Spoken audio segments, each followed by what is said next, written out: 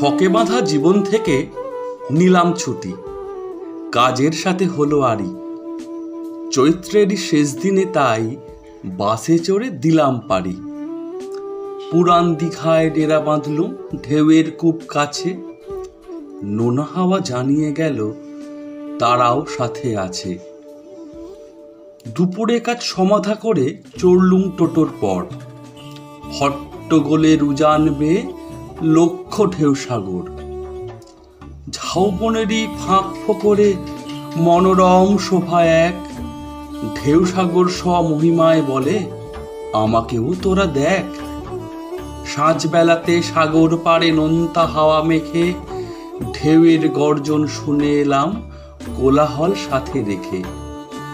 হরেক রকম আলোর ভিড়ে প্রচুর মুখের মেলা, ভিন্ন রকম খাওয়া দাওয়া আর গল্প গুজব খেলা। নববর্ষের প্রথম দিনে ভোরের আলোর সাথে বৈশাখকে সাক্ষী করে সাগর মোহনাতে।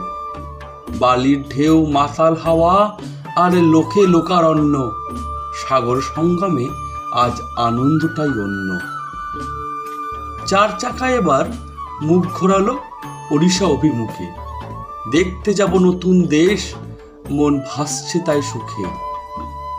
বসেক মাসের প্রথম বেলায় বঙ্গ থেকে কলিঙ্গে দুনিয়াটা শুধু হাবুডুবু খায় শত সহস্র রঙ্গে। এসে পড়লাম বিচিত্রপুরের ছোট্ট জনপদে। বিচিত্র রকম চিত্রপট প্রকৃতির ঝোলা কাঁধে। নৌকা ভাড়া করে সবে দিলাম উজান পারি কুজনে মুখর শান্ত নিবিড় ম্যানগ্রোভের এই বাড়ি। দিচ্ছে ডাক, খাঁড়ির বাক, লক্ষ্য একাদ্বীপ জলের মাঝে বৃক্ষ রাশি শ্বাসমূল তার গ্রীব। খাকা রোদে ম্যানগ্রোভ দ্বীপ যেন হাতছানি দিয়ে ডাকে। মন ভালো করা শোভা তার, গভীরে যতনে রাখে। শ্বাসমূল আর ছোট ছোট ঝোপ, সাথে তপ্ত বালুকা। মিষ্টি হাওয়া বার্তা আনে যে একা আসলে নয়তো একা। ফেরার পথে বালিকাদায় রইল শুধু স্মৃতি। এসো, আবার দেখা হবে। জলগাছের এটাই প্রতিশ্রুতি। ফিরতি সময় তাল সারিতে জুড়িয়ে গেল মন। ভিড়ের মাঝেও একা হতে লাগেনি বেশিক্ষণ। জলের বাড়ি হাতছানি দেয় মনে রাখে বাঁকে ঢেউয়ের ছলা শব্দ যেন কলসি চলেছে কাঁখে। মোটর গাড়ি ফেরত চলল পুরান দীঘার পানে। বাংলা মায়ের কোলের কাছে অমোঘ এক টানে। সাঝের বেলা আবার গেলাম বেলাভূমি উদ্যানে, যেখানে পাগল হাওয়া গান শোনায় ঢেউয়ের কানে কানে। ঢেউয়ের মাথায় আলো আধারের কত রকম ঘর। জনসমুদ্র এক লয়ে বাঁধা, কেউ নয় আজ পর। পরের প্রাতে নিলাম বিদায়, হোটেল ভক্তিসাগর থেকে। চললুম এবার কাথির পানে, রেলগাড়িতে চেপে। স্টেশন থেকে অটো চড়ে সেন্ট্রাল বাস স্ট্যান্ড যাই। সেখানেতেই অতএব ইন, আপাতত এটাই ঠাঁই। মধ্যাহ্নে অটোয় করে হলাম এবার বার। ঘুরে দেখব বনানীর মাঝে প্রকৃতির সংসার। সবুজে ঘেরা গ্রাম বাংলা দিচ্ছে হাতছানি। শস্য শ্যামলা ধরিত্রীকে রোজ নতুন করে চিনি।